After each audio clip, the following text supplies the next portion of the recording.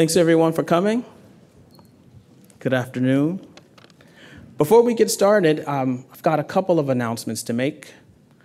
Uh, first announcement, uh, the Big Give has started. So I, I, think I looked at the clock last at about 1:15, and there was little under 3 million at the time.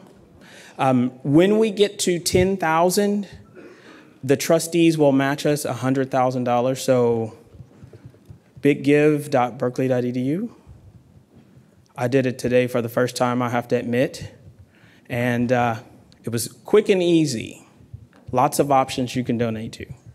So that's a big give. Um, second, I'd like to bring Kira Stoll from the Office of Sustainability.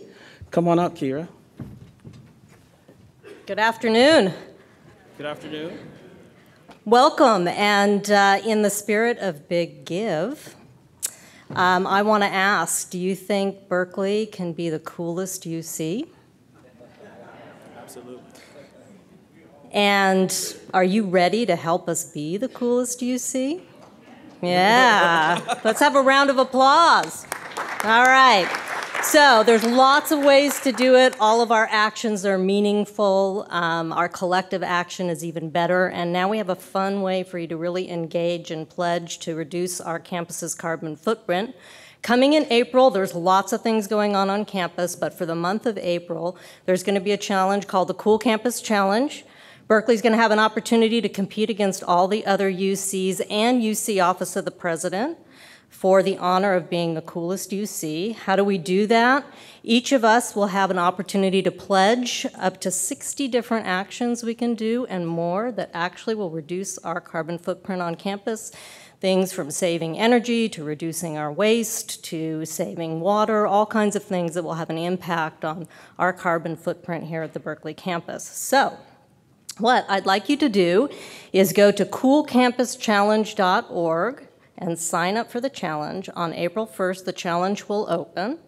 And uh, just want to give you a little bit of a preview of what you'll see. You'll sign up, you can sign up today, and you'll get a notice on April 1st that we're opening up, and you will then create a profile. And in that profile, you're going to be able to see a whole bunch of different actions you can choose to take. You can invite friends to come and join in, you can form teams.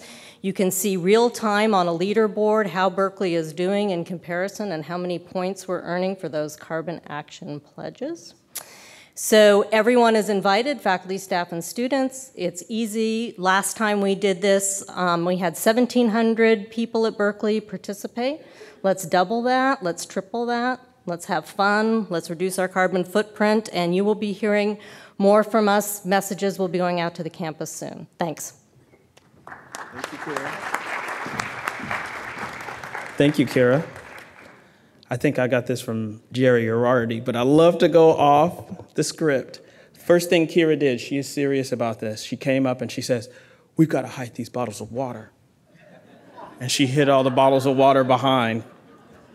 She is serious about sustainability. Today is March 14th, Pi Day. So, we have a pie to give away.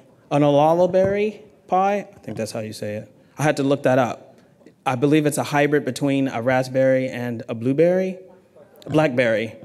Some berries. It sounds fantastic from Fat Apples. So if you look on the back of your chair or the chair in front of you, there should be in front of one chair a an envelope for this fantastic. I know the front row. Sorry.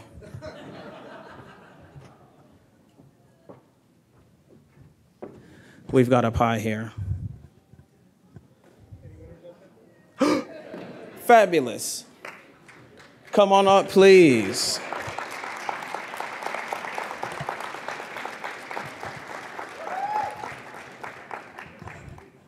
I can sample it and make sure it's safe.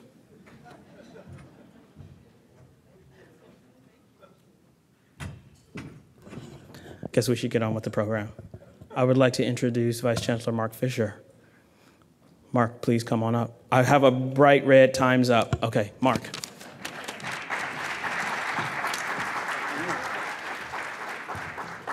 Thanks, Michael. Appreciate that. Welcome, everybody. Um, this is our third in a series of town halls, and uh, it's nice to see those of you who came out on a sunny day when there are probably a lot of other fun things you could be doing. So, um, uh, I know all of you are busy. It's a busy time of year. We have a lot going on. You're going to see some of that today as we go through our program, and um, we'll be pro- providing a lot of updates.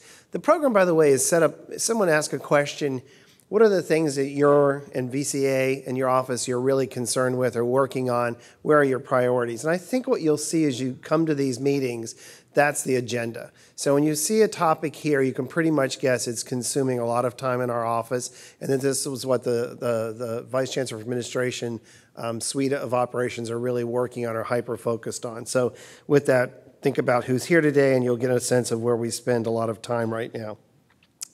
We've been talking a lot about, or in the course of these um, uh, meetings, the chancellor brought up something uh, doing less with less as terminology, and I know there was some concern about what that means and um, whether that was sort of a hollow um, issue that you know we really never do less with less. We just do more with less.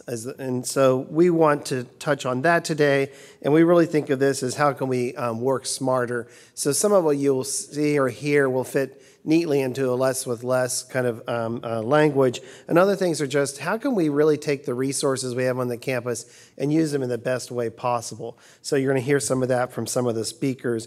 And I think it's really important for us as a division over the course of this year to really emphasize how we can make um, doing your job and our jobs uh, simpler, uh, less complicated, more efficient, whatever the right terminology is, smarter, and um, being able to make sure that the workload on the campus is really aligned with the workforce that we have on campus. So you'll be hearing more about that today, and you'll be hearing more about that in the future. So um, I have some special guests today. Um, our Vice Chancellor for Research, Randy Katz, is here, and Oscar Dubón, our Vice Chancellor for equity and inclusion is going to be here, I hope. So I don't see it. So Oscar's somewhere in out there. I just, my eyesight's awful, but no Oscar. We'll get Oscar here. Um, and our first speaker, though, today is our uh, relatively new Chief Procurement Officer. This is Russ Chung. You met Russ probably in our last meeting. He was introduced probably at that meeting. And um, he is going to give you an update on what we're doing in terms of procurement and uh, working smarter and doing less with less. So, Russ, please take over.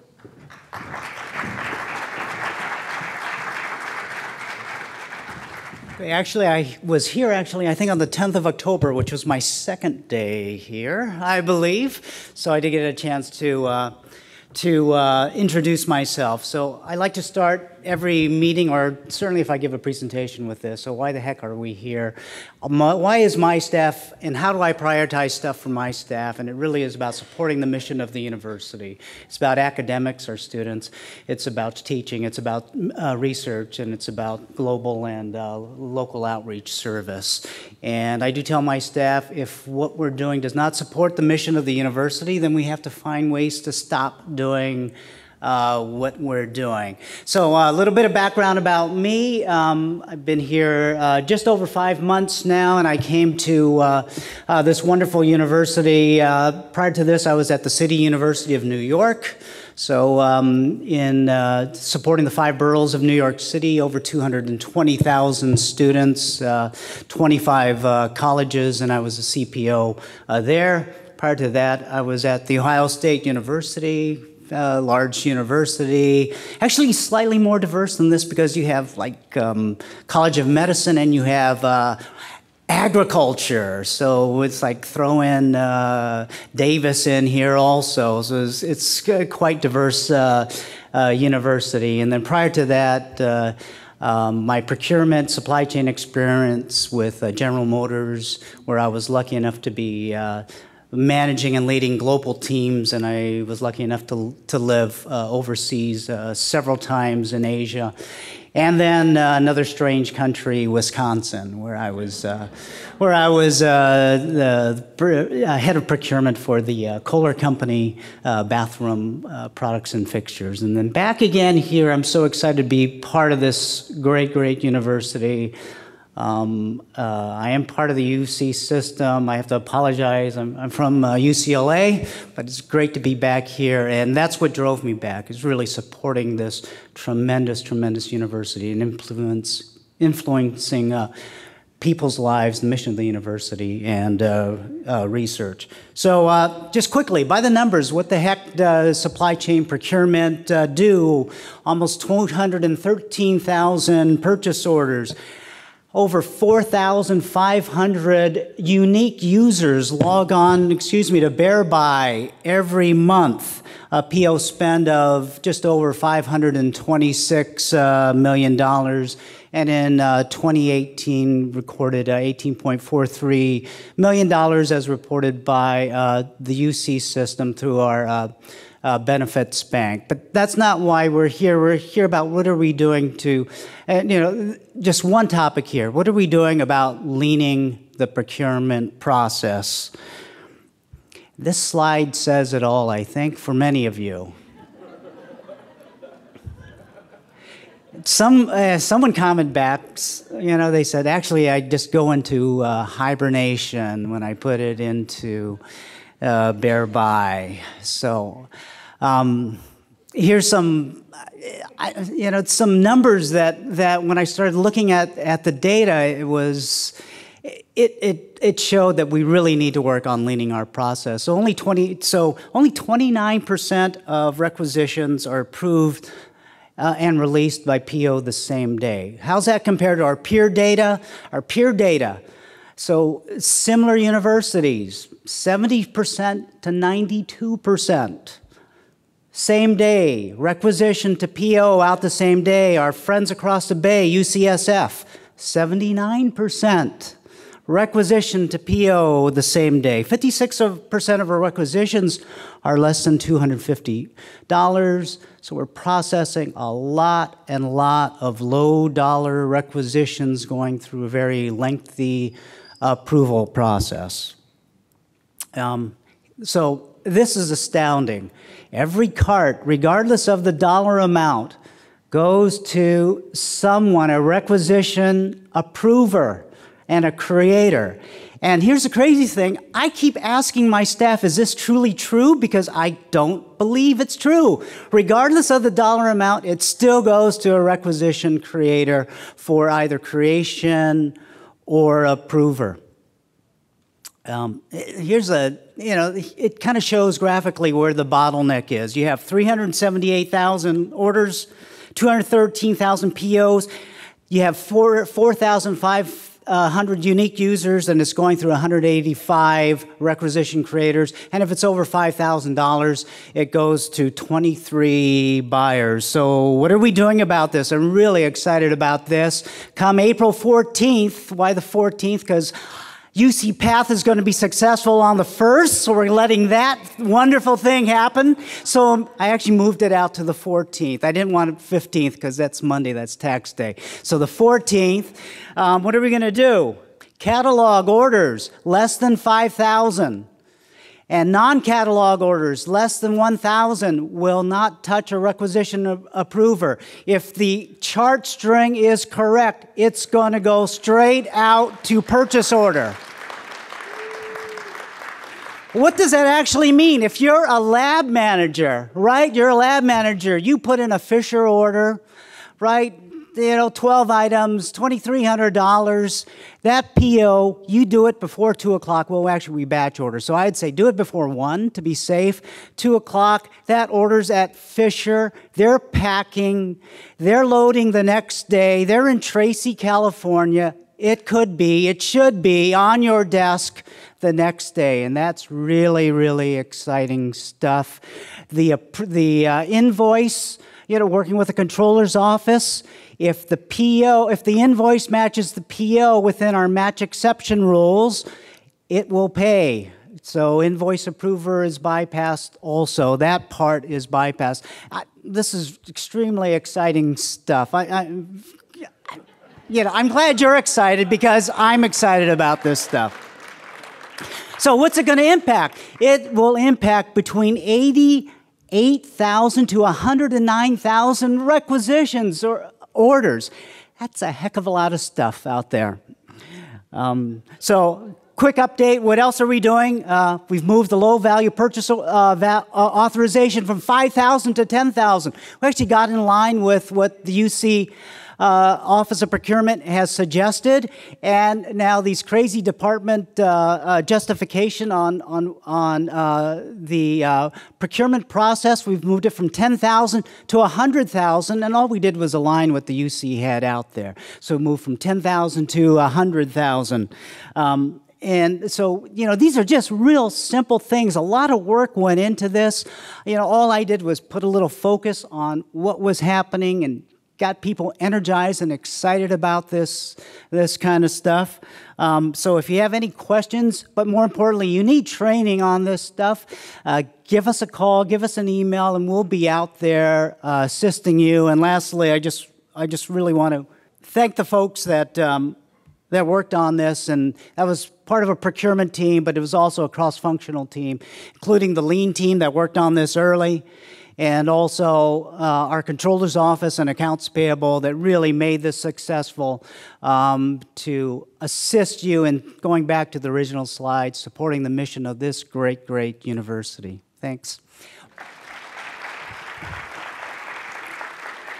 With that, I, I want to introduce Seamus in truly an exciting world of transportation. Maybe not as exciting in parking, but certainly the exciting world of transportation. Oh, sure. Um, I guess I have a couple seconds while he fixes this. See, this wasn't deliberate, so I guess I can take a couple questions real quick if there are any, and we'll take some at the end. Yes. All three of those improvements are April 14th, or is that available currently? Actually, the the the five to ten thousand, we want to do it concurrently with uh, auto approval.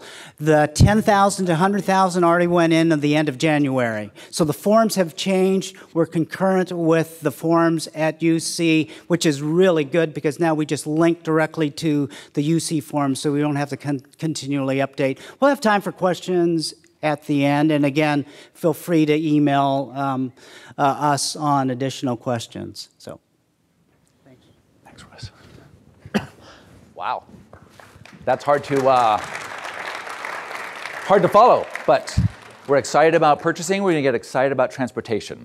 So I am uh, Seamus Wilmot, Director of Parking and Transportation and Mail Services. And what I want to do today is go over some mail services um, stats and some things that they're doing um, to be able to do uh, less with less. And then we'll go through some uh, transportation issues and how we can help you get to campus. And then we'll talk a little bit about the future of parking.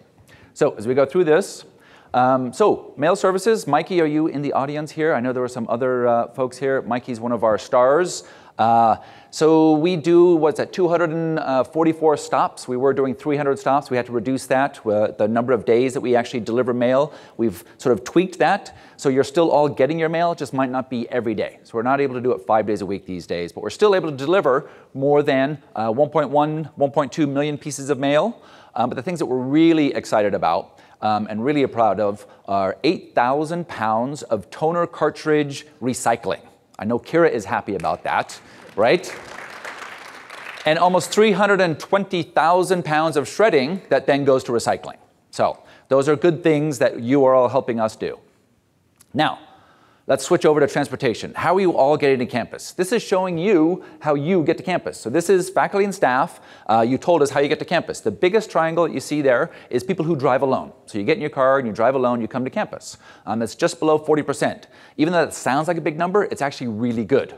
The other big numbers up there, we have lots of people that are able to take BART because we have BART across the street from us. We have people who are able to take the bus. We have people who can bike. Quite a few people are able to bike to campus, uh, which is fantastic. And I know that we're uh, working with the city trying to improve the streets around Berkeley uh, and around our campus to make them safer for bike riding.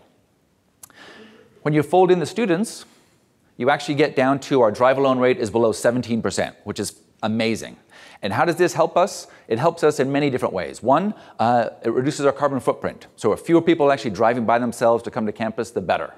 The other thing it really helps us with, uh, which some of you may not like, but it helps us reduce the number of parking spaces that we have to have on campus, right? If we have, I know, I know, less with less, right?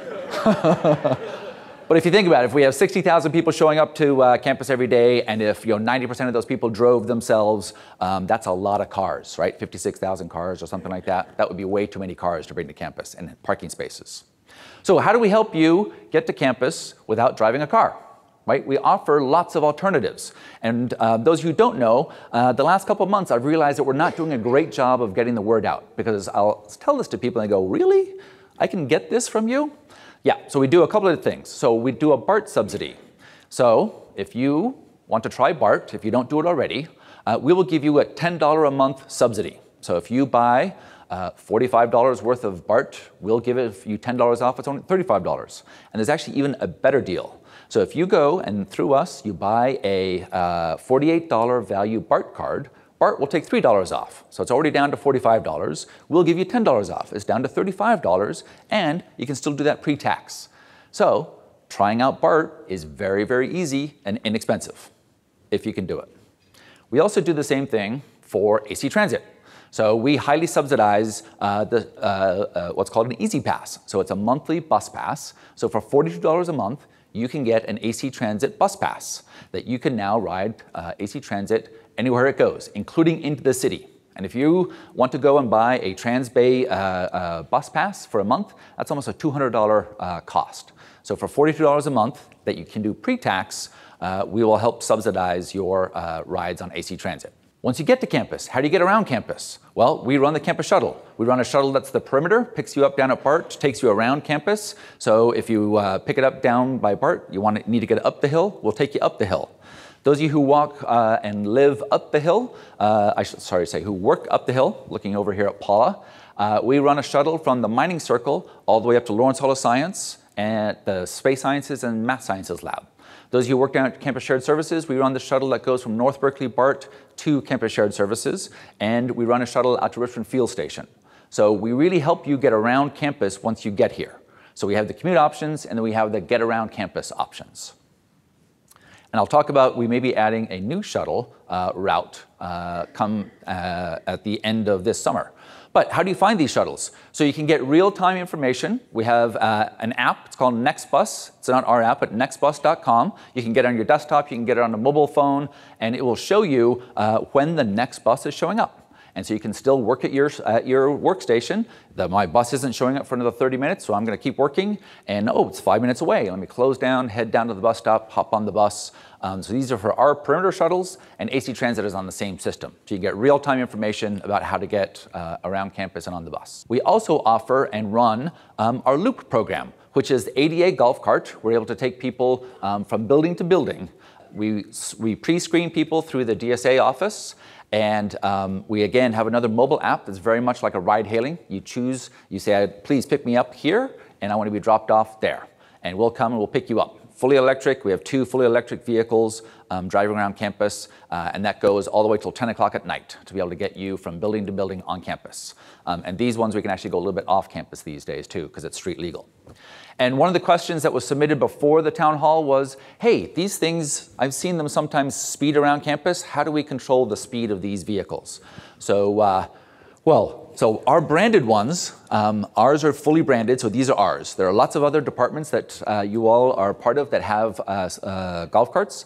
Ours, uh, we train our students, it's all student drivers, we tell them and we train them uh, no faster than 15 miles an hour when you're on a road. If you're near pedestrians, you have to go the speed of the pedestrians and that we really work with them to try and be safe. And I know some of you are saying, well, I've seen these golf carts go a little bit faster than that.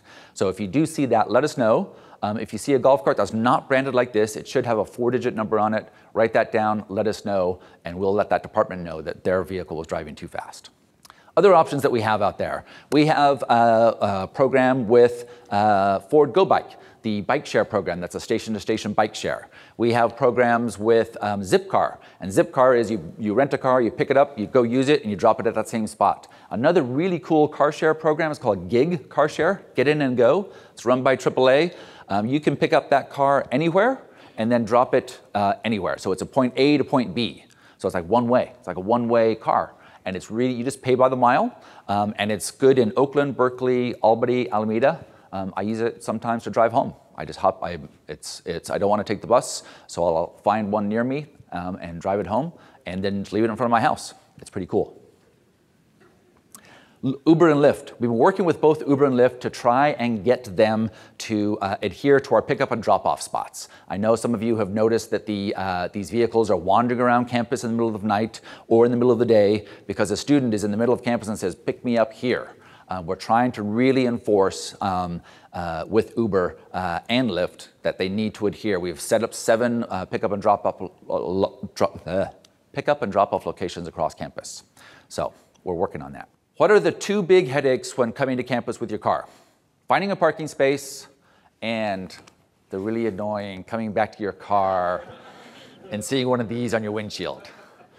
It's, uh, it's something that you don't like, especially if you've already paid for a very expensive parking permit. So we're working to try and help so that you don't get a parking citation. And what we're working on is doing enforcement by your license plate. And so what we'd like you to do is go to our website and um, click on, let's go back one page, uh, click up on the upper right hand corner, My PT Online. You'll take you to this next page where you'll log in with your CalNet ID and it will say add vehicles. You will add your vehicle and now you've associated your vehicle with your permit. We now know your license plate. We can now uh, enforce by license plate rather than uh, worrying about your hang tag. So in case your hang tag has fallen off, you've shared it with a spouse, you've shared it with you know, whomever, uh, you, took, you left it at home, um, that's very annoying. You've paid for the permit, yet we gave you a citation. Now we'll be able to enforce by license plate. All right, the future of parking, doing less with less. Um, so yes, we are um, going to be losing a parking lot um, this fall. Uh, the Upper Hearst parking structure uh, in the uh, northeast uh, corner of campus um, to help, uh, because the Goldman School of Public Policy is expanding its academic space, and then we're bringing in some much needed um, housing for young faculty and graduate students. but it does mean that for two years we'll be without that parking structure, and when it comes back, it'll have fewer parking spaces. It'll be down to about 170 parking spaces when it comes back. So what are we going to do to mitigate that? Three different things. First, we're going to add a shuttle to the east side of campus that will go from the Foothill lot to the mining circle to the Clark Kerr campus. And what that helps with is you can now park your car up a Foothill lot. We realize that that's really up the hill. It's not very easy to walk down from that Foothill lot. So we will, uh, uh, we'll have a shuttle that will get you from the Foothill lot down to the mining circle. Um, and then the other thing we have is out at the Clark Kerr campus, Clark Kerr Southwest, Every day we have about 100, 120 open parking spaces. So those of you who drive in from the east, come down Derby and take a right on Warring, there's a parking lot right there um, that's actually wide open. Uh, and we'd love to have you park there and free up some of the parking spaces that are on the central campus. And to help you with that, you can't really see this, it's kind of washed out, but you'll see some green and red dots. What we've done is we've installed real-time occupancy sensors in these lots. So we've got it into the CKC Southwest lot, and we'll have it in the Foothill lot before fall. And so you can tell before you get to the lot, is there space available? There's a, a mobile app that we are just launching that will be uh, on our website, and will actually give you directions to the lot. So before you leave home, you can pull up and say, oh, look, there's 100 space, there's 100 green dots on there. I'm going to go to that lot rather than get frustrated and drive to the um, foothill lot and say, oh, it's full, now you must drive somewhere else and find uh, somewhere else to park. Um, you'll be able to know before you get there. So that's my time here. Some pretty exciting stuff about parking. Thank you. Sorry, I forgot to introduce uh, Sally McGarrahan. Serve me introduced. um, thank you, everyone. So last time I was here, I spoke a bit, kind of gave the overview of who we are, and this time I'm going into the details of what we're working on at the moment. So I'm going to talk about the campus survey results, show you, well, screenshots of our updated website, and talk a bit about the less with less. So as many of you, I hope, know, uh, we put out a campus-wide survey at the end of last year.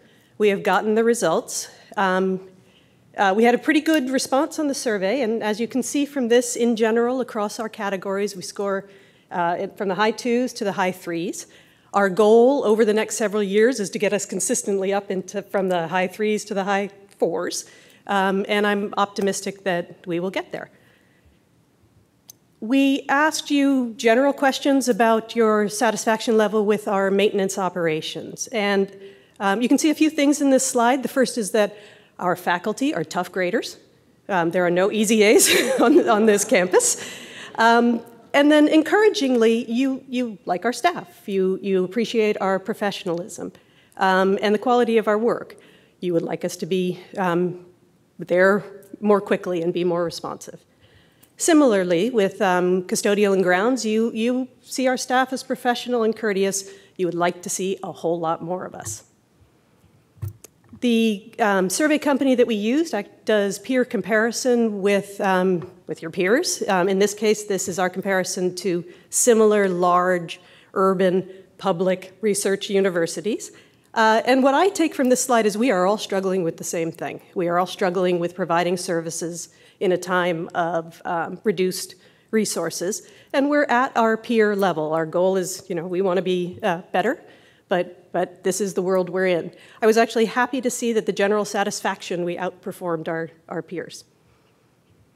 So I want to talk a bit about um, some specifics. We got thousands of, of customer responses, and I have to say a significant number of them were, is anyone actually going to read this? And are, are you actually going to do anything with this survey? And so I, this is my opportunity to say that yes, we are. Um, we've read, lot, read the responses. We're going to do more work on them. So what I'm, I'm bringing here is sort of the high-level initial reaction. I'm also going to point out I'm talking about all the negatives. We actually got a lot of responses that were quite positive and quite supportive of, of what we're doing.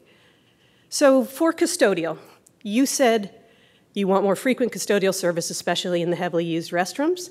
You would like cleaner offices, um, and you'd like to see more deep cleaning. So even if we're keeping the surface level clean, you'd like to see where we, you know, that we can go to windows and floors.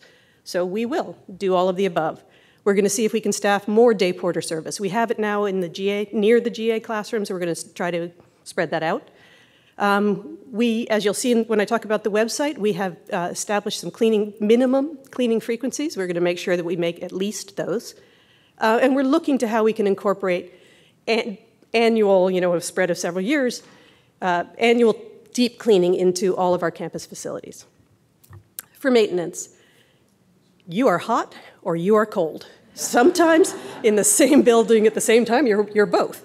Um, and, you know, quite honestly, this is the nature of our facilities. Um, temperature is subjective, and our buildings, actually, in most cases, were not designed to provide the thermal comfort that modern buildings are. So it is a constant struggle, and our systems are, are broken.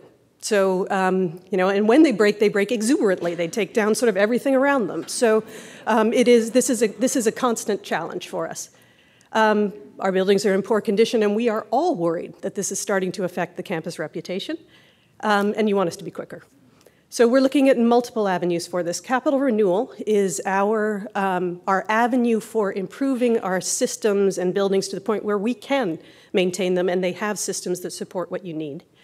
We are continue to support our staff so we can be effective um, in, in how we respond. Uh, we emphasize preventative maintenance. That's the best way to prevent uh, catastrophic, catastrophic failures.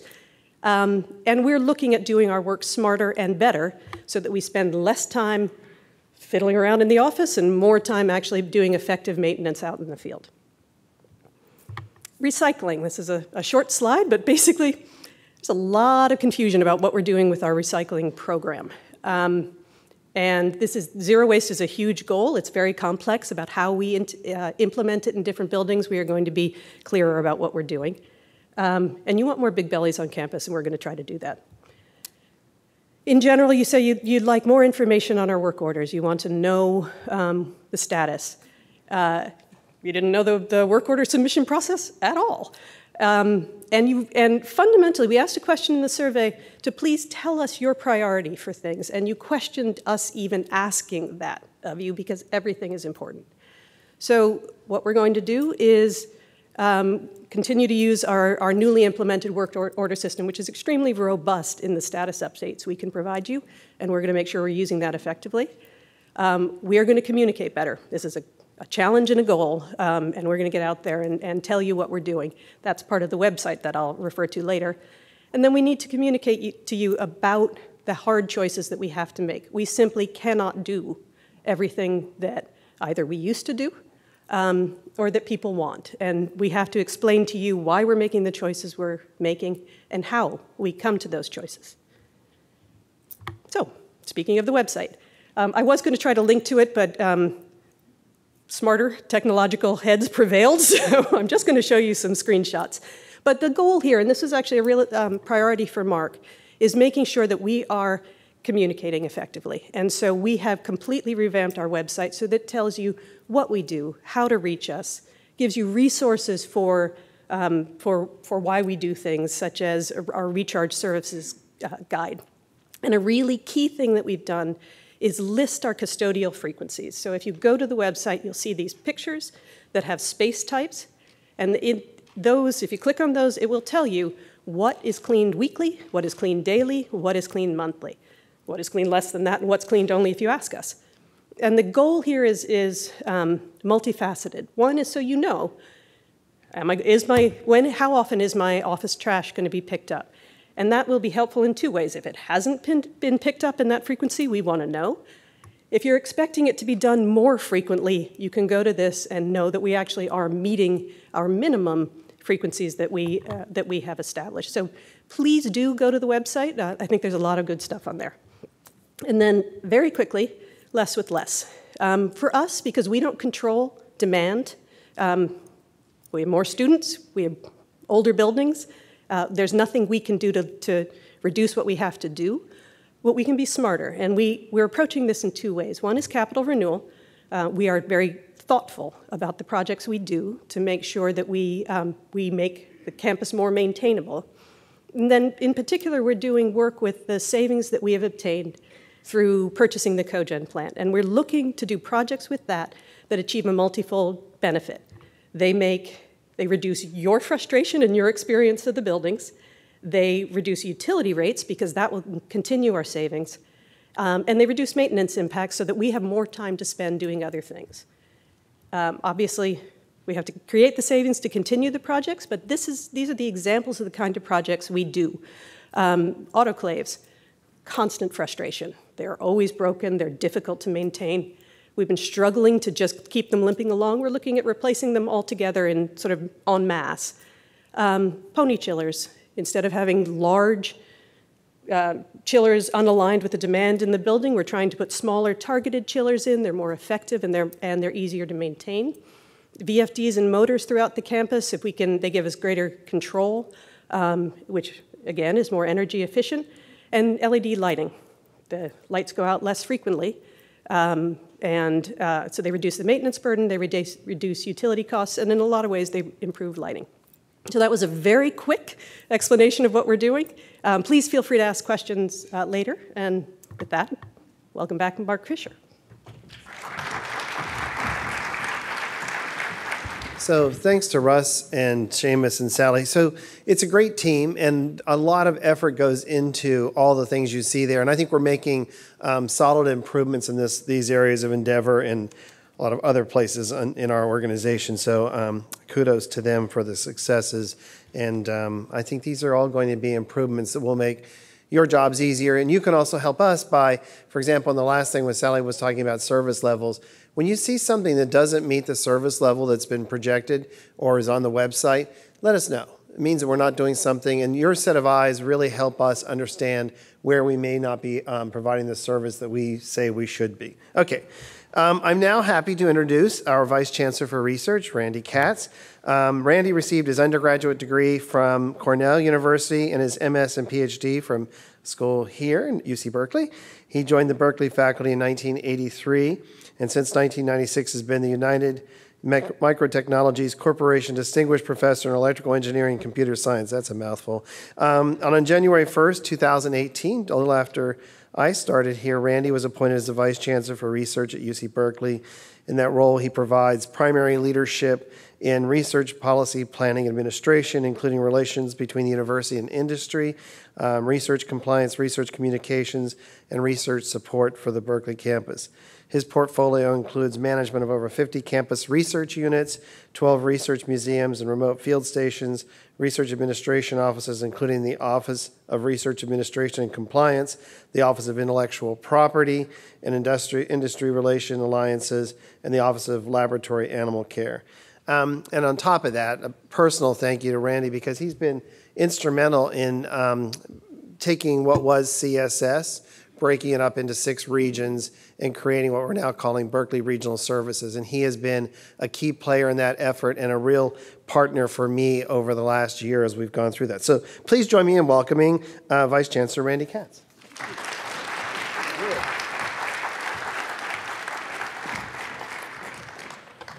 You know, I was sitting up here in the front thinking about all the jokes I was going to make about UC Path.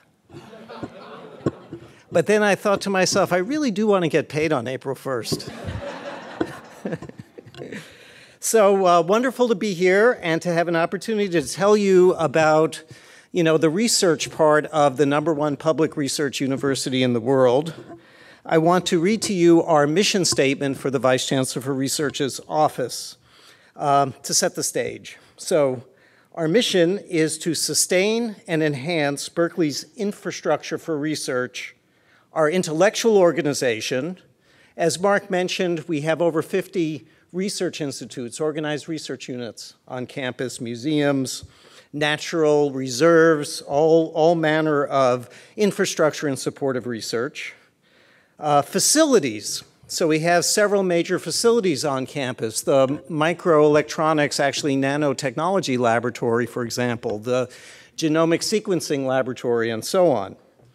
Funding. We are running at about 750 to 800 million dollars per year in externally sponsored research on the campus and that represents a tremendous amount of resources for us to uh, advance the boundaries of knowledge and to have major impact in uh, the, the, lives of people uh, in, in California and the world. Services. So, as Marc alluded to, we have over 40,000 research animals on campus that are used to advance our biomedical research projects. We have services for taking our faculty and students' intellectual property and turning them into patents that can spark economic development in the, in the Berkeley area and the Greater Bay Area and beyond. So a set of services associated with that. Services, I see Pat Goff over there, so services that keep our campus safe and uh, uh, protect our, our, our, our workforce and our researchers as they go about their work on the campus. And finally, our processes. So we process all of those great faculty proposals to turn into that $800 billion a year in sponsored research, as well as supporting the animal laboratories and many, many other kinds of things. And so those elements, the intellectual organization, facilities, funding, services, and processes should be the leading environment for our faculty, students, and researchers on campus to pursue the kind of scholarship that, when it comes to the number one public research university, it's the scholarship that changes the world. That's what Berkeley is about. I'll give you three examples of this world changing, world impacting research.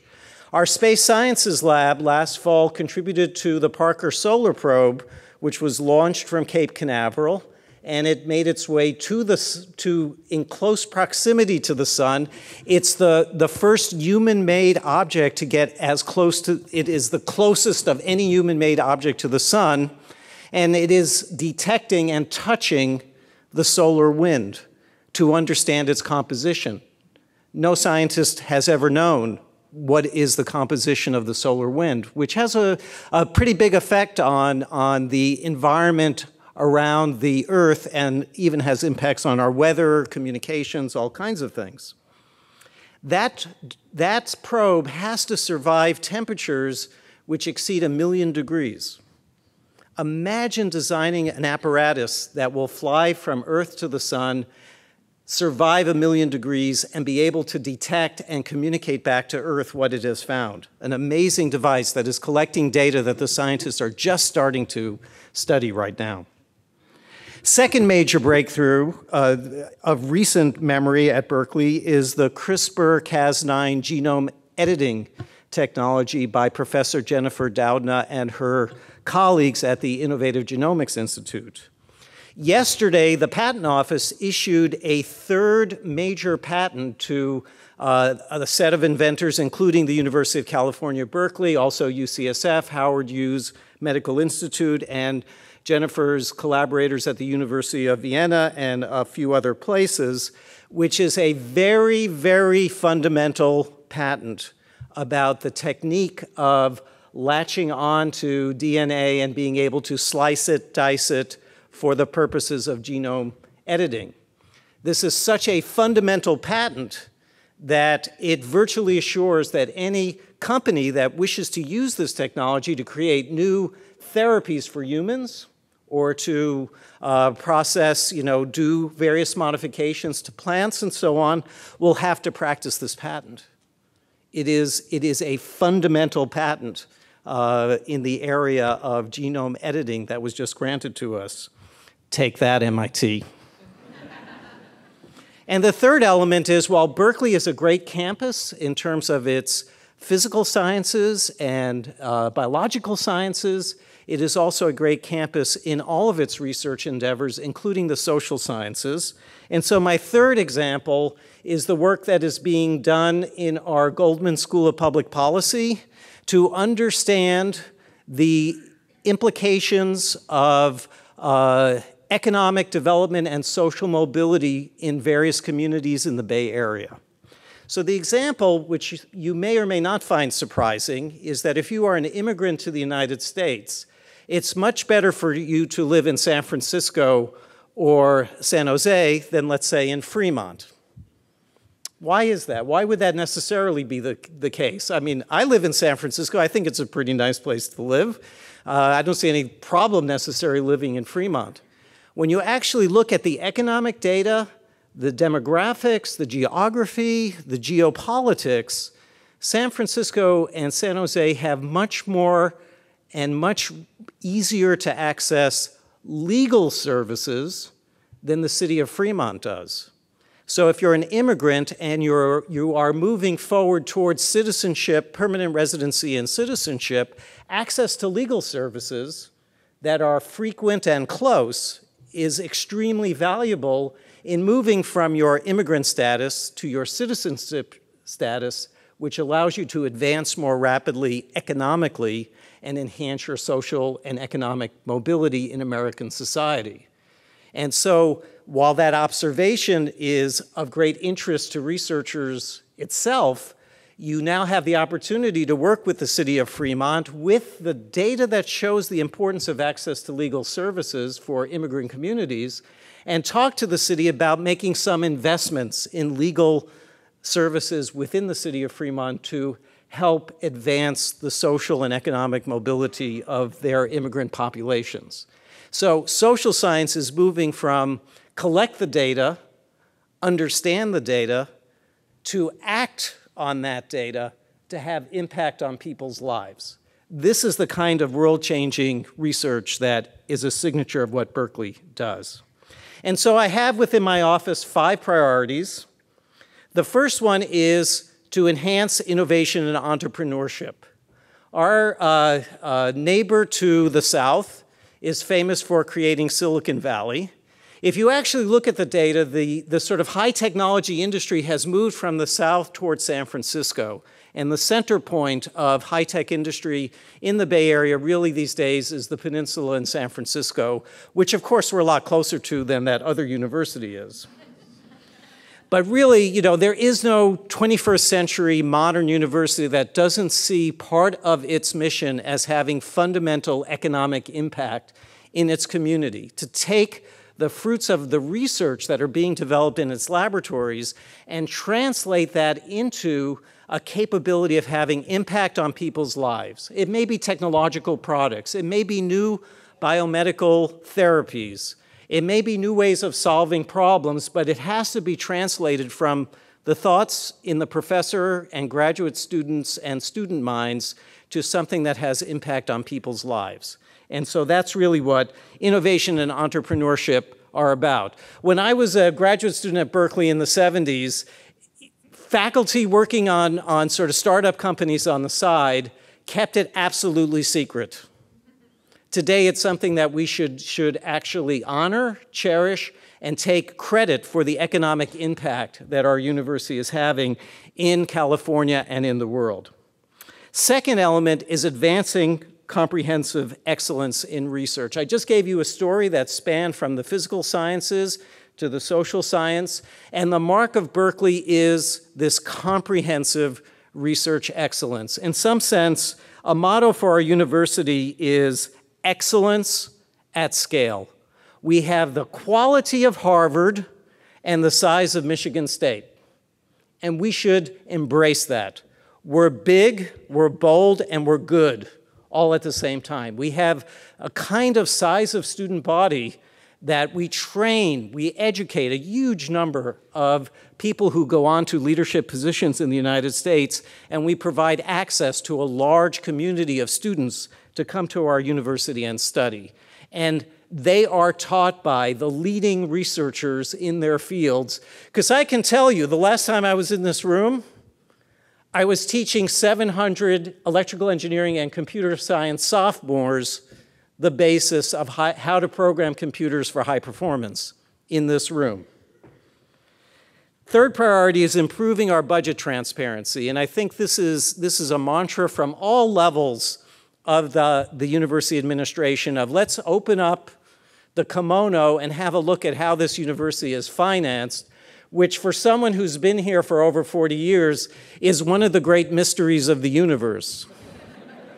but we're starting to really understand what's going on, and one of the collaborations that I tremendously cherish with Marc is in the regionalization of campus shared services, working with some fantastic analytical minds amongst our staff, we developed a, a model of how workload translates into staffing needs based on the number of uh, purchasing transactions and, and hirings of students and, and uh, academic researchers and staff and all of those things, and how many proposals are submitted and so on, how much people of different kinds do you need to support that level of activity? That's the first time I've ever seen kind of activity based budgeting going on in this campus. That's a tremendous tool. It may be that we used it for allocation, we have this much money and wish we had that much money, but we had a way of allocating the resources that was fair based on the workload. That's the essence of budget transparency. And, and you know, there's a lot of activity going on right now. One of the, the administration's initiatives is, uh, is a new financial model, which is embracing this concept of, of you know, giving units the ability to pay based on their activities, uh, which I think will be you know, sort of a very, very interesting opportunity for the campus going forward to fairly size and correctly size our, our sort of enterprise based on the work that has to be done. Fourth priority is to support the campus's strategic plan.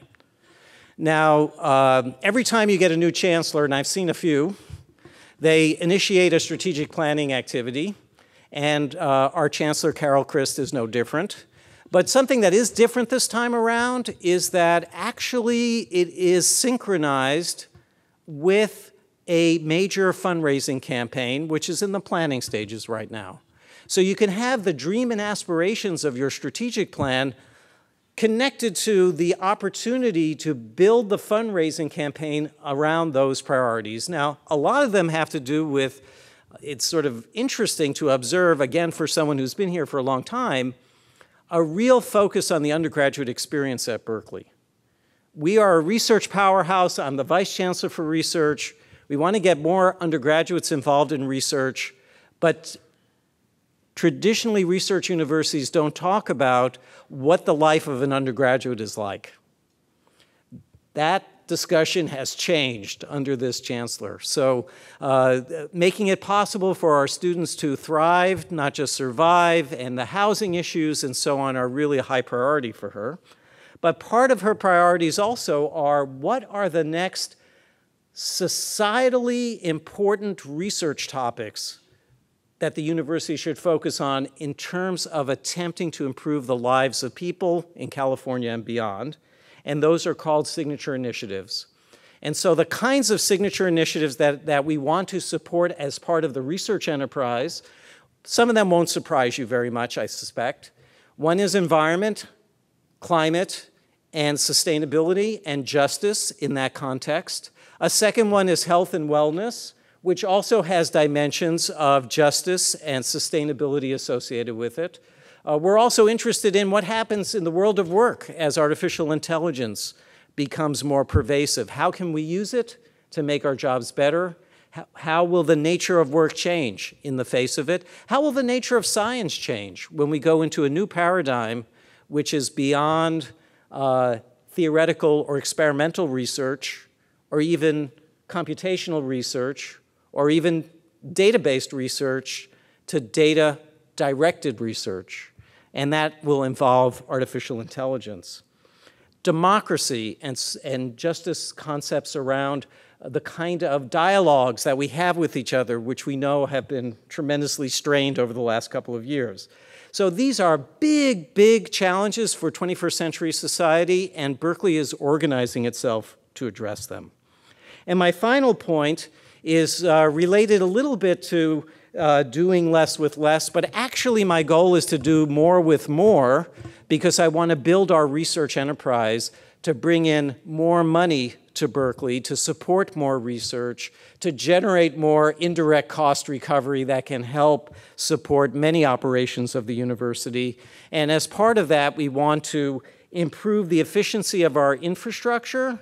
We have, as Sally mentioned, a lot of challenges with our aging, under-maintained infrastructure for research and for many other aspects of the university. How do we bring in funding to help improve and update that? The services that we have, we want them to be efficient, and then the processes, and in part things like the campus shared resources and the regionalization are a way of bringing to parts of the campus which never had access to uh, high quality research administration, now will get their fair share of administrative support for the kind of research that they do. This is a set of complicated things we're undertaking to improve the environment for research, for teaching, and for service at the university that are so important. And with that, I think I'll, I'll end and uh, maybe save uh, time for questions at the very end. Thank you.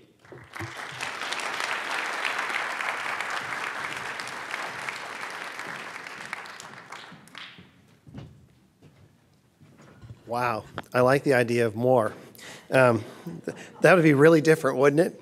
Okay, so my uh, I'm, I'm honored to have my next speaker is or guest is Oscar Dubón, our Vice Chancellor for uh, Equity and Inclusion. And Oscar, you're going to have to find your way out of there. Oscar's a graduate of UCLA and earned his MS and PhD at Berkeley and joined the UC Berkeley faculty in engineering in 2000. And I was just doing the calculation in my head, and I was thinking I, he might have been an undergraduate when I started at UCLA, and that's scary. Um, previously, Oscar served as the Associate Dean for Student Affairs and the Associate Dean for Equity and Inclusion in the College of Engineering. In 2016, Oscar received the Chancellor's Award for Advancing Institutional Excellence in Equity. In 2017, Oscar was appointed Vice Chancellor for Equity and Inclusion, where he leads campus wide efforts to broaden the participation of all members of the campus community, particularly those who have been historically underrepresented and or unwelcomed in the pursuit of the university's mission of access and excellence. And, and I work with Oscar, we work with Oscar a lot, and um, he's, a, he's doing a huge amount of good work in this area. Through the work of the Division of Equity and Inclusion, campus partners, and the broader campus community, Oscar envisions a campus where all Berkeley students, faculty, and staff feel welcome, valued, and supported. Please join me in welcoming uh, Vice Chancellor Oscar Dubón to the stage. Oscar.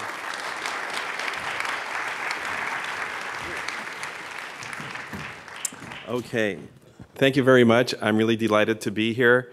Um, Randy, I was really inspired by your presentation. Um, as an engineer, I really appreciate uh, that vision, but also as a citizen of this world and the impact that UC Berkeley has, um, I really value that. Um, when I think about that, it just made me think about sort of how would I synthesize in a nutshell what the work of E&I is. And um, I, I, was thinking there and I came up, it's, it's finding belonging in our excellence. I think that really brings it all together in terms of what we try to do in, uh, in the division of E&I and how we seek to engage uh, the campus. The other thing I think about um, is the idea of impact on people's lives. You know, we raise the issue whose lives? Not everyone's lives are the same. So recognizing, not excluding lives, but recognizing that we all have our unique life trajectories and making sure that we are engaging comprehensively in that way. Um, the other part I, I thought about is um, how faculty and student minds are a central part of innovation. So whose minds are part of that innovation? You know, which faculty, You know, which graduate students, which undergraduate students, which staff were part of that innovation. So those are all important issues that I think about as we do the work um, in E&I. And uh, finally, uh, I think about um, who do we educate, right? This is a big part that, uh, that Randy mentioned around uh, the, chancellor's, the chancellor's vision around undergraduate education. Um, this is really a fundamental change in the paradigm of who we are. And I really uh, take that to heart because that's not an easy change. Uh, we are focused on research. Um, I, have always said we think of uh, undergraduates as junior graduate students. And if you're a junior graduate student, there's no better place than UC Berkeley for you.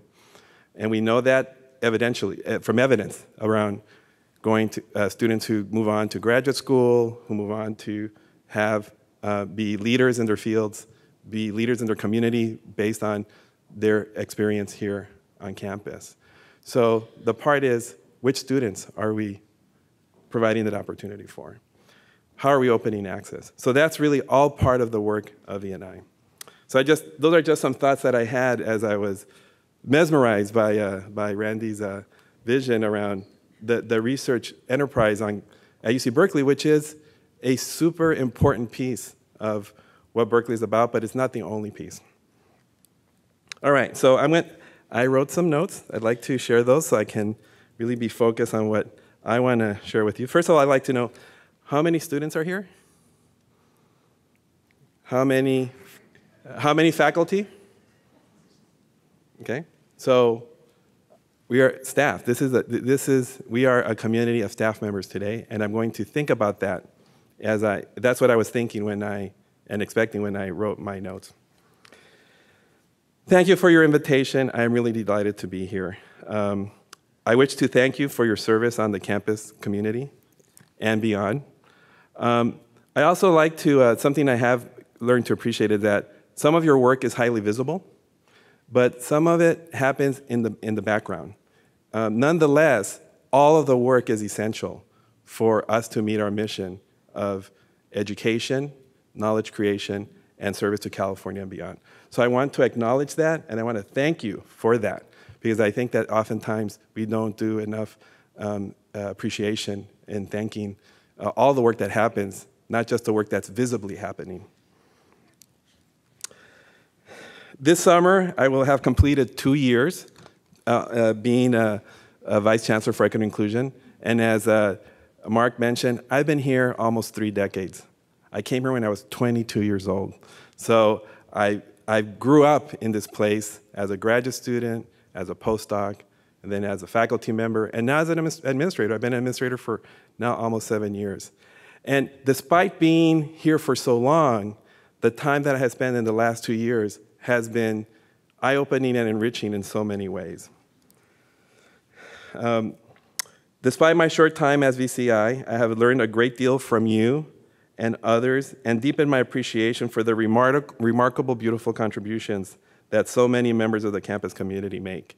And that is always an issue of a, a, just a wonderment about how many things happen, even when we think about they sh- probably shouldn't happen because there's not enough to do the work that needs to be done. But we still manage somehow to do it it is part of our work, as Randy mentioned, to find other ways to bring more to do more, rather than to ask you to do more with less. And I think that's something that is certainly omnipresent in my mind and certainly in the mind of my, uh, uh, my uh, colleagues in leadership.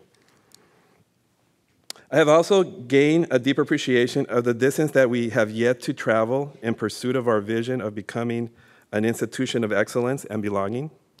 In the division, we think a great deal about both belonging and othering and excluding. This said, we are not the compliance arm for institutional belonging. I am not here to be a compliance officer to, about campus climate, around our challenges and diversity. Instead, I am here to be a partner and an ally with you all because the work has to happen comprehensively with all of us, not just with a subset of people on campus. We help to build bridges that bring belonging to different dimensions of our campus. That work can only happen through partnership and leadership. And one of the ones I'd like to mention is actually some of the work that we have done around uh, staff, uh, staff uh, equity and inclusion with uh, HR and with Marc. And that's been really important work. It's probably some of the more challenging work for E&I because that's not, to be frank with you, the way E&I was designed and continues to exist. It really it has been a student-centered um, organization. And so as we move forward, that's something that I certainly have in mind about what we need to do to be more nimble and also be more effective as partners in other areas around staff diversity and in- equity inclusion, as well as faculty equity and inclusion.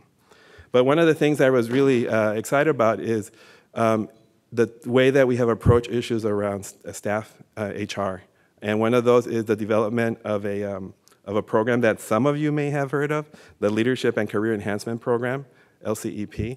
I think that is not the end all, but that's the beginning of a journey of understanding that diversity in leadership matters, both staff and faculty, and it doesn't happen by itself. We need to find ways to, in fact, deconstruct and reform all of those pieces that has led us to the point that we are at, which is where there is a very uh, there's very limited diversity in both faculty and uh, and staff. And I'll give you an example. How many of you have taken the My Experience survey? Okay. First of all, thank you for taking it.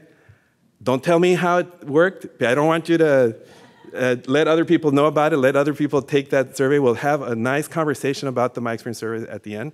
Um, but I encourage the rest of you to take it. But when I took the survey, my sense is that based on just how I answered my questions, that I could probably be identified among the thousands of people on campus based on just the intersection of my role and my personal identity. Now, I took it because all that information would be kept anonymously. So there be, we're gonna, we adhere to anon- anonymity, confidentiality. There is no way that uh, we would uh, disaggregate data in a way that uh, it would determine who you are. But you know that really, to me, just speaks to where we're at on campus around certain issues of who is in the who is at the table when decisions are being made, both among staff and also among faculty. The other part that I'm really excited about is this idea, this concept of developing a staff equity advisors network.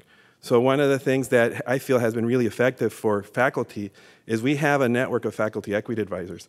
It's taken the better part of a decade to really start to codify some of the best practices and the impact that a network of faculty who are dedicated to values of equity and inclusion to have impact on things such as graduate admissions, um, faculty hiring, as well as issues around uh, campus, around um, uh, their local microclimates where the faculty members are in their departments. So to think about how that can be articulated to a model for staff, to me, is extremely important, extremely valuable, and is something that we really need to uh, pilot, find a, find a best practice, and then implement across uh, the campus. Now, again, this is not a compliance arm of anything. It's about making sure that we understand that when we feel belonging in our workplace, our work is higher quality. The more we feel that way, the more I feel belonging in my research, the more I make my students feel belonging, the more creative, the more impactful they're going to be in their research because they're going to bring all of their dimensions themselves into that work. And that's true in every aspect of the work that we do on this campus. So that's another one that I am extremely um, excited about. Um, this is not to say that we are where we need to be, but we are pulling the curtains back and examining with great honesty and sincerity what we are doing right and wrong, thereby exposing the structural inequities that we know exist. Okay? But we're not here to, um, we live in, within a certain system. It doesn't mean that as individuals we're all operating in a certain, with a certain intent, but we end up working a certain way because of the very system that we are in. So we need to examine our practices, we need to examine our structures to make sure that that is happening. So one of the things we're also doing is looking at uh, disaggregating the different types of um, uh, uh, uh, job titles with, um, and looking at the demographics to understand where are the gaps? What can we do better to make sure that we are uh, addressing those structural inequities? There is one more part to that, and that's something called a constituent board. You're going to read a little bit more about that in the message. Um, but that's really our uh, effort and attempt to really look at the systemic and structural issues that really are impeding belonging, that are impeding um, a sense that, yes, if, I, if I'm here, that my work is valued and that I have an opportunity for growth. Not just an opportunity for personal development, but an opportunity for advancement and growth in the organization. That may not look like in other places. So often we talk about ladders, but when you think about growth here and advancement, it's really more of a zigzag. You start here, you end up here, you end up here, and so forth. But there's still some sense of what that advancement should look like. And that's something that is our responsibility to continue to work on. So that's just one piece about how partnership and allyship works within E&I. There are many other uh, areas that we are working on. One of the areas that I'm particularly uh, excited about that really has had a transformation over the past couple of years that I've been here is around supporting the disabled community on campus. Um, there are just, um, the changes are staggering, I'll say. And I think in the next year or two, you're going to start to see the fruits of the investment that uh, staff and students and some faculty have made in this area. Um, I think about not just about the amazing uh, uh, transformations in proctoring that are happening, um, the fact that um, we're now focusing also on graduate students. We're focusing on understanding, having a, a, a professional to uh, understand issues around housing, but also thinking more broadly, you know, bringing on a um, ADA uh, 504 officer, Ella Callow, who is really visioning the issue around disability beyond the students, around working with HR, around staff matters, working with the faculty, and working with those members of our community that maybe fall in gaps, which tend to be some of the hard parts around supporting disability. Disability, uh, uh, achieving um, the compliance, I'm to use compliance this time, around disability should be top in our priority because it's a civil rights matter. It's not, uh, it's a nice thing to do. This is when we support uh, accommodations for our members of our community, we are supporting their civil rights. And that's the level of seriousness that we really need to take when we do that work. But I'm really excited where we're heading. We have other, I have seen inroads in other areas. I think the African American Initiative is finally really taking off. Um, there's a Fannie Lou Hamer Resource Center that is doing great work. Um, there's also, we have our first cohort of African American Initiative scholars who came in as freshmen this year.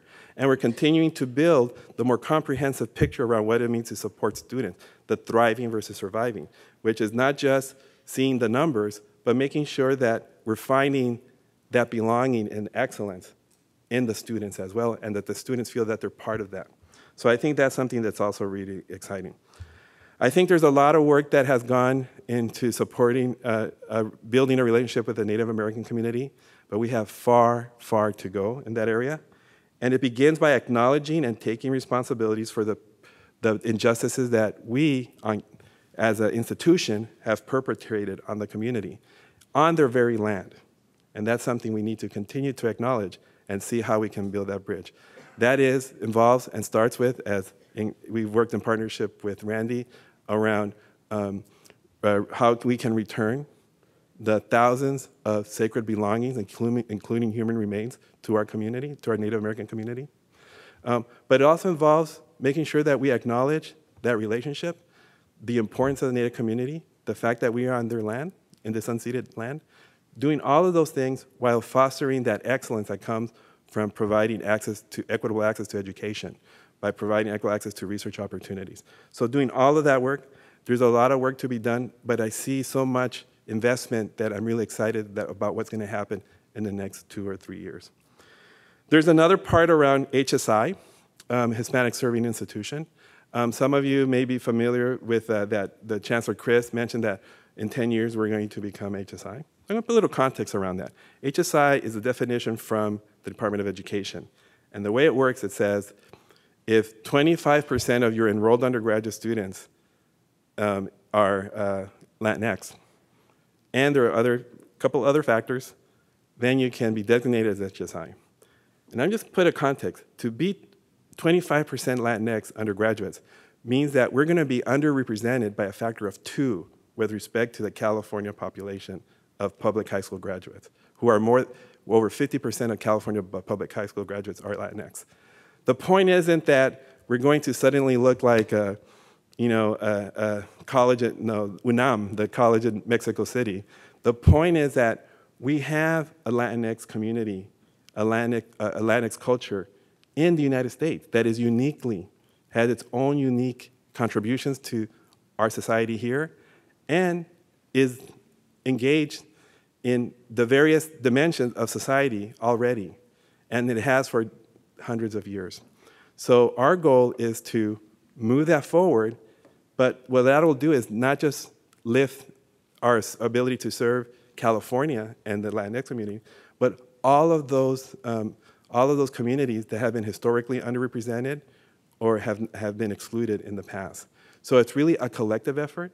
It's not about pointing one group versus another, but it's using that avenue so that we can be more open and accessible to Californians as California is evolving in the 21st century, looking different than it was in, 19, uh, in 1868. So those are some of the, I know I'm almost over, those are some of the initiatives that uh, we're undertaking. I am be thrilled to, uh, to uh, answer any questions if there's time later. And um, also, uh, let's go out there and find the belonging and the excellence of the work that we do. I would uh, certainly like to know how you're doing that and welcome your input. So thank you very much.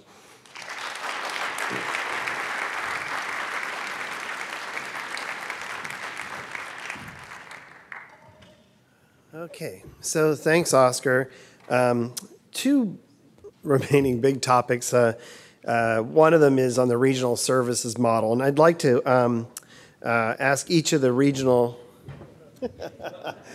Oscar's little book. Um, uh, ask each of the regional directors to come up with their um, HR manager uh, and join me on the stage, if we will, so that we can all see who's doing this great work. And um, here they all come. Excellent. So we now have six regional service centers, as you may know. The last one really was um, uh, Region Six or Bears, which serves the vice chancellors, if you will, in the in the central administration, and um, that that region really just set up in January. So this is really relatively new for the campus. I think the first region was a little over a year ago, and um, this has taken a huge effort on a lot of people's part to pull this together. So um, the benefit in this, I believe, is that we are now providing services closer to all of you um, with folks that you can have direct contact with and uh, see and meet on a regular basis. The response has been really great. Um, uh, one of my favorite comments recently was a dean, and I won't throw her completely under the bus. But anyway, her, the compliment was um, how improved the services were for her uh, division with uh, the regional service model. And, um, and I won't name names, but it was a dean that I, I would say isn't doesn't easily give compliments like that. So it was a nice surprise. Which dean could that be? You know, I'm not doing that. Anyway, these are the regions on on the slide. So the names are sort of interesting. Um, URSO is a name that's been around for a while. Each of the regions got to determine their own name for their region, and um, you can see them there. You can ask the regional directors the how and why of those names. I'm not going to try to go into that, but um, uh, they believe this this this presents their region well, which is great. Um, the first one is URSO, which is uh, College of Engineering, Environmental Design, School of Information, and related ORUs. And by the way, that was a big move, moving the ORUs out to the regions. So this was something that URSO, it's been around for a while, I think 12 years plus. Is that right? Yeah, 12 years plus. And um, that was a, a big change for them. Um, their associate dean is Karl Van Bibber. You can see on there. And Cynthia Weekly, who's behind me. And Cynthia's going to talk to us here in a bit. And then Ebony Wilson from um, the URSO region. So, and are they all together? Yeah, Wait. I didn't see that part. Okay, the CHAMPS region, this was the first of the new regions. Um, College of Chemistry, Division of Mathematical and Physical Sciences, uh, the related ORUs and field stations, um, including um, the Space Sciences Lab, which was a big shift, I think, to, to really, and I think there's some good work going on there. I see a head going up and down like that in the back. That's good. Um, and the Associate Dean here is Ron Cohen who has put a tremendous amount of personal energy into the success of the regional model and needs to be called out for that special effort. Um, his regional director is Samantha. Jury duty, okay. And uh, uh, Jerry Nazaretti, who's here, is the HR manager. So, um, again, one of the newest ones. Best is biology, uh, College of Natural Resources, Division of Biological Sciences, related ORUs. And this is um, the Associate Dean is Rebecca Heald. Um, Adam, I know, is here. I saw him earlier at the end there. And uh, HR Manager Anita Bailey. So, welcome. Thank you. Um, and none, none of this has been easy, as you can imagine. They're taking over um, huge tasks and um, budgets that been a little complicated. Uh, Randy talked about the model. And the model, you know, is, is I think, a great thing, but it, it did present some challenges for particular areas, and we continue to work on that. The share region, this is one of the newest ones, uh, Division of Social Sciences, Arts and Humanities, undergraduate division, and the ORUs. And this is Max Auffhammer and Teal Sexton. Teal's here behind me, and um, uh, Anna Sanchez. And so, uh, again, this is, I think, just December, or, just December or January? December. So they're really um, new and up and running as well. And then the pros reason, which is also very new, uh, Berkeley Law, there are nine of these, I think, Haas School of Business, Optometry, Public Policy, uh, School of Education, Journalism, Public Health, Social Welfare, and Berkeley Extension. Um, this one is complicated. Obviously, um, all the deans make it a little bit more um, interesting. And um, We've had a hard time getting a regional, regional associate dean, but John Flanagan, who's dean of optometry, has very nicely agreed over the last almost year to do this work for that region. He's done a great job, and all of his fellow deans really owe him uh, a lot of gratitude for that. The regional director there is, is, Julia Arno. Julia is here. She joins us from UCOP, and Valerie Ventra Hutton is the HR manager. If you're in these regions and don't know these folks, this is really important. You, you see these faces and know the folks because um, with Path going live, um, you're going to need them. Uh, okay, we can't have anything at Berkeley without a bear in it. So um, now it's, by the way, BRS, Berkeley Regional Services, which I pronounce BERS. And now we have the Bears region, which is all the vice chancellors. So um, administrative units, um, chancellor's office, EVCP, equity and inclusion, athletics, student affairs, uh, development, library, and the auxiliaries. And um, the professional schools region is complicated, but this one is no less complicated in terms of the number of players involved and um, the, the, regional associate dean kind of position, vice chancellor, is me, and um, we're working on that. And then Lori Tannehill has taken us on. She's taken the challenge of working with all of us. We're fabulous. And Bradley Evans is our HR manager. So thanks to all of them. Um, do try to talk to them, get to know them if you don't already. Um, I think they're doing a great amount of work for the campus, and um, it, I think this is a sea change and a really good sea change. And I personally want to thank them all for their efforts and all the wonderful things that they're doing. All right. Unless you want to stick around for UC Path, are you going to stick around for UC Path? Okay, good. Um, okay, Path the next topic. First of all, everyone working on UC Path in the room, would you stand up? I know all these folks are, but everybody else, stand up if you're working on Path. And I'm going to stay standing because it seems to have taken over my life. Oh, come on, there must be more than that.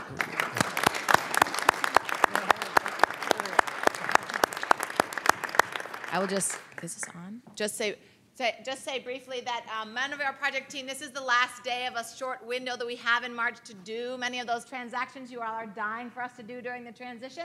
And unfortunately, therefore, much of our project team has not been able to join us here. So, ah, yes, that explains it. They're all busy doing UC Path work. Okay, all right. So at least I hope all of you have heard about Path. If we, you haven't, we've done something wrong. And that, by the way, is, is Jan Crosby Taylor, and Jan is in charge of communications around the Path project. So if you haven't heard about Path, do see Jan at the end of this because we have a communication problem. Okay. Um, this is a really important initiative for the Office of the President and um, for the campuses. And Berkeley is going live now. We're in the middle of the transition from our old system to the new Path system. The thing that's interesting here was we had um, uh, a series of decisions to be made about whether we would go live now or wait until the fall we were originally slated to go live with um, UC Irvine, UC Davis, and ANR. And ANR, Irvine, Irvine backed out first. They weren't ready. Davis and ANR backed out a couple weeks ago. And the Berkeley campus decided to go ahead and go forward. And some of you may wonder, why on earth did you do that? And um, um, there's some really great reasons. First of all, we're, we're going without those other campuses, so we're getting a lot of attention, which is really fantastic. And we were able to leverage that having a group go live with UCOP for resources. So we have about 18 people on campus working with us from UCOP and from the Path Center. And I guarantee you, if the other campuses were going live, we would not have gotten those resources. So this was, I think, really to Berkeley's advantage to go live now. Heather Archer, who's probably not in the room because she's also up to her eyeballs in work, um, was really a strong voice in this, suggesting that this was absolutely the right time for this campus. It's an ebb in terms of hiring. If we waited another month, we would be impacting hiring for the summer. And if we waited until the fall, we'd be impacting hiring for the fall in the academic year. And so there was the decision was made to go forward um, for a lot of reasons, but those are two of the most primary reasons. And the last one probably is we have some really amazing staff working on Path that frankly become fatigued if you don't just move this thing forward because if it doesn't wrap up, there's a lot of energy in it. And um, we were really afraid that we would lose key staff members, which we could not afford to do. Um, having said all of that, that's all the great reasons to go forward. Path is complicated. So we, we'll go live with Path, and there will be some breakage in the system. There's no question, or breakage in terms of people being served by the system. The system itself, I would say, is essentially flawless except that it relies on all of us to be perfect in everything we do to implement the system. So the system will be blamed for things. It's not really a system issue, but it's really how we um, interface with that system. UCLA and UC Santa Barbara went live um, last fall. There's been a lot of issues. I think that Santa Barbara is stabilizing pretty quickly. LA has had a pretty difficult time. Why is that? Well, LA has a very different set of systems. They don't have the kind of infrastructure that we have at Berkeley. I keep saying Berkeley should be really proud of itself for all the integrated systems developed on this campus. I know that sort of work is not easy, but I also know that it really it's a huge advantage for us that our systems all talk to each other. So I keep saying that, and I hope it's absolutely true in the rollout. But I do think it's going to make a very positive um, difference here for us. So um, I'm going to stop talking. I'm going to let Cynthia talk about some of the work that we're doing in the regions to make the transition to Path as smooth as possible. So Cynthia Weekly, thank you. So, good afternoon. It's nice to see so many of you and so many long-term colleagues, which is always uh, a fun, a fun thing to do. Um, it is quite exciting and a bit surreal for those of you who've been around a while and have heard about UC Path for like 10 years. It's actually here, uh, so it's a little hard to believe that we're underway. Um, this has been a tremendous effort by so many committed people. And on behalf of all the regional directors, I just want to take a moment to thank all of these HR leaders who have really given us um, so much of their time and effort to give us the best chance of really being successful within the regions for the implementation of PATH. And so thank you all very, very much. Um, we have known for quite some time that we have a big challenge ahead of us, and I can assure you that a cadre of people have been planning extensively for it. Um, we have learned quite a bit from UCLA's implementation and have tried to address some of those issues and try to create some mitigating actions. Um, we also know for sure that there will be problems that we did not anticipate uh, or expect or prepare for. Um, but I am confident, however, that we have pulled together an organized approach of dealing and addressing problems that arise. Um, each region, with the really tight partnership of the UC Path project team, with uh, Central Human Resources, with Academic Personnel Office, the um, triage team, as well as the command center team, stand all ready to assist. Um, the key message today, however, that I would like to impart is that we want to encourage all of you to contact your regional team for any problem that you encounter with UC Path. If today you currently use the first contact team or you enter a ticket in ServiceNow, um, please continue to do that to uh, escalate any problem that you have within your region that you are being supported by. If today you submit an URSO um, email to the URSO alias for HR or payroll, you will continue to do that post uh, UC Path. Um, the other thing, too, if you need to contact any of your regional partners, human resources, academic personnel analyst, or research administrator within the region, please know that you can do that. That's that, that contacting the region is the best first place to get some assistance. If the issue then needs to be escalated, the team knows the escalation channels and knows what to do in order to get that particular issue addressed if it does need to be escalated. Um, the transition to UC Path will definitely be uh, challenging, but we'll certainly take a partnership of all of us working together on the campus. We are all learning the system together. We're learning the new ways uh, to conduct business in the HR and payroll space for our campus. Um, but one of the things I just want to impart, and we all collect collectively share this is that the regions stand ready to serve and assist you. So again, please direct your questions, problems, issues that you might be experiencing with UC Path to your regions first, and then we will take it from there uh, and hopefully resolve the problem quite quite quickly. Um, so, do we have time for questions? Do we want? Okay, so we're thinking that we can take a few general questions. Um, if there's anything more specific to the region, then we probably think it's best to contact um, the regional director or your HR um, manager. Um, and to, to, to, talk about some of those specifics, but we have folks here from the project team, from the pro, from the uh, PMO team here as well, and then we have our region team. So we can we can probably take a couple general questions if anybody has any it's so clear and everyone's just so ready to go. So uh, we're pretty excited about that then. Sure. Oh, there was one thing I was supposed to say, and this is probably what, what Jan might be wanting me to say. On the UC Path website, there's a recently new document called the Fact Sheet um, that has a lot of good information. So it's on the UC Path website. It's in like an orangish color. Um, and if you link to it, it'll provide uh, quite a bit of information that will be very helpful. Oh, that wasn't it. Sorry. Okay.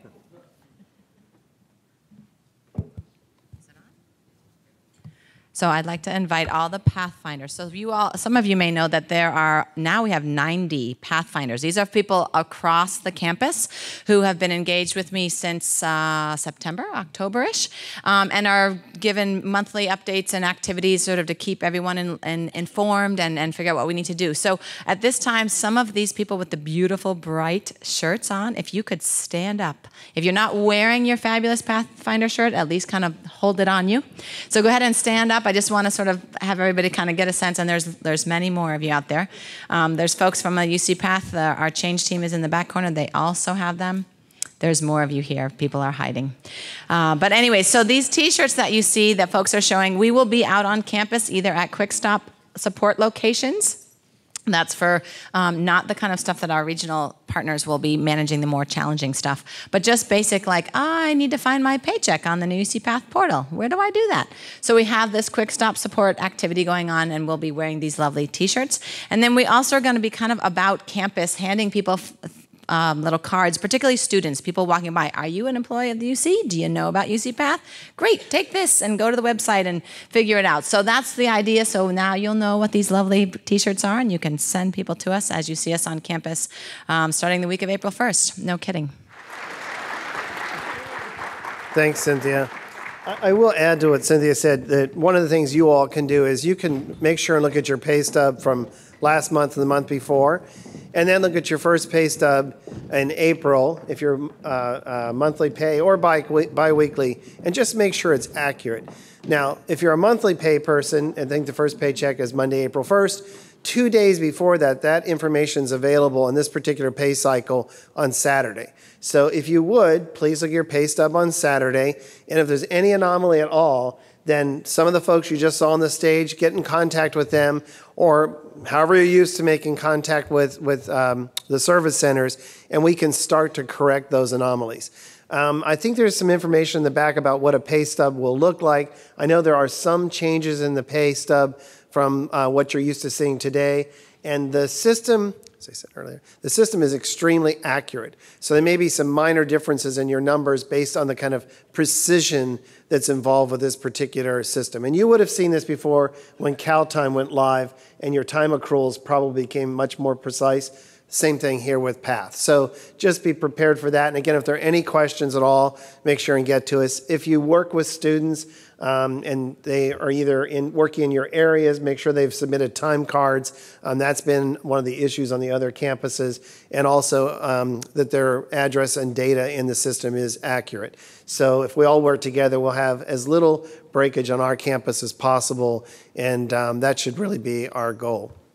So anyway, I'd like to thank everyone uh, for coming today. Are there any questions about any of the talks you heard today that we'll take any or all questions at this point? Everybody's still here. Um, Randy and Oscar can answer questions if you have for them, or Sally, or Seamus, or Russ, and uh, certainly welcome your, your questions and comments. What a, oh, here we go. This is turned on. There you go. Hello. Oh, hi everyone. Um, my question is basically for Russ. I'm a lab manager over in plant microbial biology, so I'm very excited to hear about this accelerated procurement opportunity. Um, one of the things that uh, me and my colleagues are concerned about is we are currently in a position where we have org node approval and also chart field 2 approval. And I was wondering if those things are also going to go away under the uh, certain thresholds, especially for those with federal funding. If your area has special, I hate to say that word, We're special. all special. but have created different workflows, then you should examine it because what will happen is it will it will again it will bypass org node approver also unless you have put in your your workflows your independent workflows out there so i, I don't know if that answered your question um, Basically, when I put through my requisition, I um, I I need a requisition creator to Right. rubber stamp, and then I also need my research admin to then do a CF2 approval. So then I have to wait anywhere from zero to five days in order to have a rec turn into purchase order to then go out to vendor. And so I'm adding that additional time on top of receiving product. Okay, so your or the the um, you'll bypass certainly the requisitioner, right? It will by depending on your dollar amount, it will bypass your org node approver. I am unsure, but we can find out with you. It will bypass. Oh, hi. Oh. Hi, hi. So the BearBuy X system expert, um, CF1 and CF2 will not change at all. If you have been using the ad hoc approvers, those will also not change. Org node approval on the requisition level, if it's below the threshold, will go away. Any other questions? Otherwise, the CF2 remains. CF2 remains. Okay. And, and that, that, was, that was a critical functionality. CF2 will trigger at any dollar level in order to protect research fund approvals. It's kind of tough when I'm trying to order from Stanley Stockroom for same day delivery and I have to mm-hmm. wait three to five days in order to get that approved. Yeah, so at least Rec Creator, Department Approver won't do that for you. If you've triggered CF1 or CF2, you will still be waiting for those turnaround times. Okay, thank you. Sure.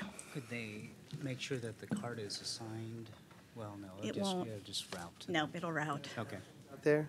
Okay, then. Um, I think we're done. It's a wrap. So there's, I think, some food left back there still, though it looks like it went pretty well this time. So uh, at least grab an iced tea on the way out. And if there are any cookies or other goodies left, please take them. We don't want to waste anything. And thank you for coming. We'll see you in the fall.